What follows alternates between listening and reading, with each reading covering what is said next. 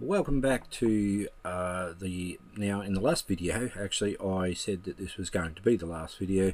However um, I think this will end up being uh, two or three videos maybe more um, depending on how much we get through in each one so that I break it up and it's uh, it's in finished sort of sections. Alright? So first thing is to open up your project. It should look something like this uh, where we have our our spawn point here we have our random spawn points over here that are showing at the moment where wood will show up etc and we've got our flint and our stone and the camping part here. Now the script we will be most interested in is our main script. So open that up on the screen. And before you get started just make sure you've saved the file locally somewhere and published it to Roblox. Alright so now, uh, before we do anything in our project, uh, what you'll need to do, if you haven't already done this, is come up the top here to the right and you'll see this little share symbol. So if you click on that, you'll see game settings come up. You need to click on game settings and there's a whole bunch of stuff that comes up in here. Um, that you can have a look through if you've never looked at this before. However, the one that we're interested in is security. And out of all these, for this particular project, this is the one here. Enable studio access to API services.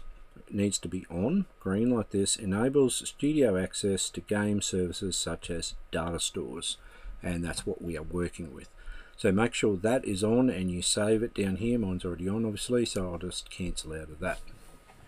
Once you've got that done, we will start in our main script here and at the very top above game.players we're going to get access to the data store service so we'll type in local DSS for data store service equals game and then we will get a service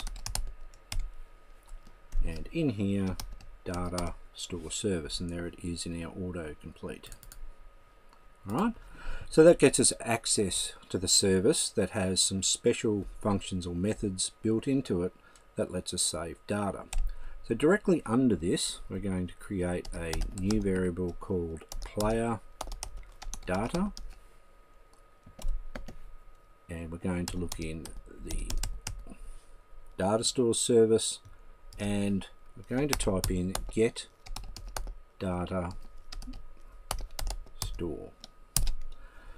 Now this might seem a little bit strange to some people um, but basically what happens is uh, when we set up a data store we access it so um, and if there isn't data there for what we're looking for which we're going to create a unique name in a moment then um, data store the data store service will create that for us and that will be this here. So this will either have player data in it or it'll create a new empty one and put that in here okay? So we need to have something unique in here. Um, I'm just going to uh, we'll we'll go with it's a camping game. So let's go camper oops camper um, and we'll put in a version number here which I'll explain more later why we need that but I usually put in a few uh, depending on testing and we'll say one to start with. So if we need to reset our data stores which we probably will when you're testing or if you have problems uh, you can change this number and it will then create like a completely new data store all refreshed ready to start from the beginning um, so if we have those sort of problems where we need to change this, I'll bring that up.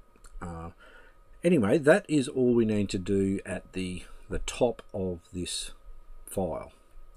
So if you've done that, make sure you click on save and publish to Roblox. Alright, now we'll continue down the bottom of this uh, if we go down our list, and you should have all these very similar sort of things here, player flint, player stone, uh, the each of the variables. And then we get down to the bottom part here where we've set up uh, some more code and things. uh, in here. So in this section where this code ends, I'd like you to just move this down a bit and we'll call, um, so we've got down here, um, this is spawning like our log spawn. So we'll just say log spawn script below. Alright, so that'll help us separate these sections when you're looking to come back and work on it. And above this, we'll put in a comment here, data store load data. And put this across here. So I'll put in here load data. Um, it, it, will save data obviously as well.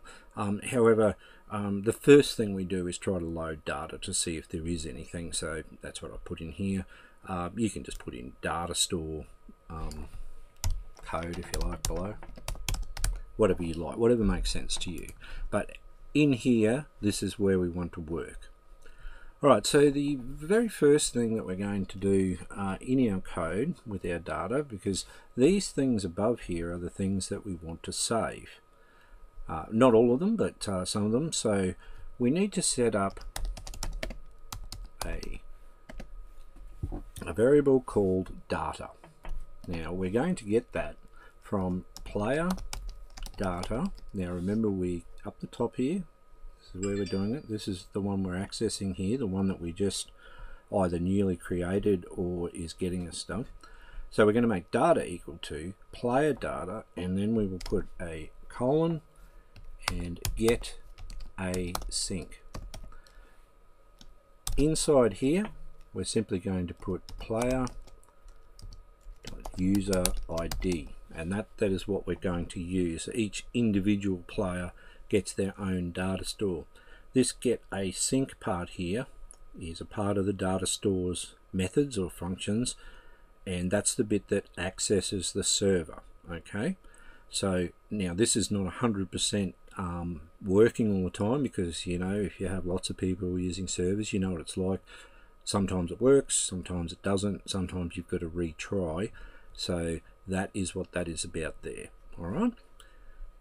Now straight underneath this we're going to put a conditional statement in. So if data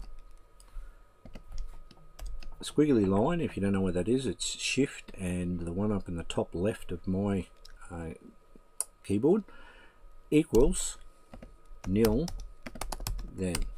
So this is saying if if data whatever is returned here from the server is not equal to nil, which means there's data in it. All right, then we'll just put a, a, a comment in here. Player has data. So whatever's inside of this if statement, we want to do that if there is data to get. Okay. Now, obviously, uh, new players won't have that. So directly below that, I'll type in else new player. Okay, so this is where our new player um, data will be set up and then the player will play the game and when they leave we'll have a function that saves the data and then when they come back into the game this should run so that, that is the process that we're going to go through in here. All right. So in here we can just do a couple of little tests, for example. So let's say we'll put in here print player data loaded. Okay, to let us know, yes, there was data and we grabbed it and it's been loaded into our variable. Otherwise, we'll put down here print. Player um, what do we what did I say? We'll just say new player. Um, new player yeah we'll say new new player uh, data setup.